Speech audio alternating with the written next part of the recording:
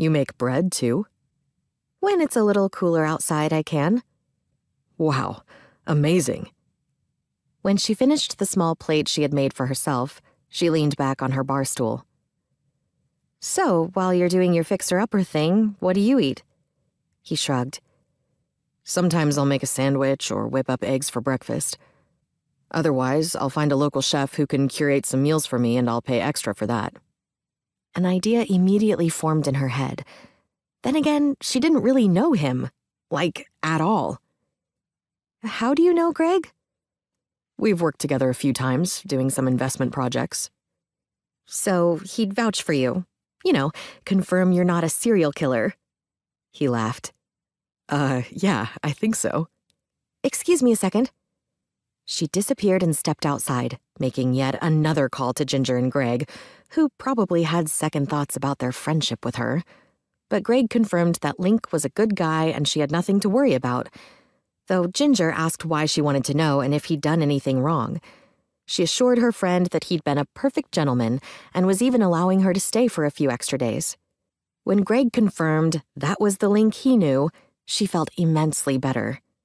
When she got off the phone, she had a plan formulated. Linc would probably never go for it, but it might buy her some time to figure things out. She pulled up to her spot at the peninsula and said, You must burn a ton of calories while you're doing your. your thing around here. You could say that. Wouldn't it be great to have an on call chef to cook for you? He cocked his head to the side and studied her for a few seconds, then said, Go ahead and tell me your idea. She leaned forward.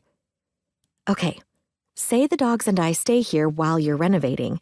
I promise we are very good at not getting in the way. And while you're working, I cook for you.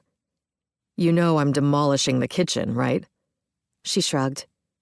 There's a kitchenette in the guest house behind the pool, has a mini stove and an oven. Plus, there's a grill out back. Trust me when I tell you that I am very resourceful when it comes to cooking. And in exchange, you'd only want the ability to crash here. Not exactly. I still have to take care of the dogs, and I have other expenses, so I'd expect a minimal salary. We can discuss that. But first tell me how you ended up here, in an empty house with five dogs and no furniture. Damn, she was hoping she wouldn't have to reveal that part. Fine, my ex husband swindled me out of our house and all our money. His eyes widened. What? How did he manage that? Let's just say I foolishly allowed him to handle our finances, and before I knew it, our bank accounts were empty, the house was double mortgaged, and there was nothing left. And then he filed for divorce and left the state. His jaw dropped. Wow, I'm sorry. That must have sucked. It did.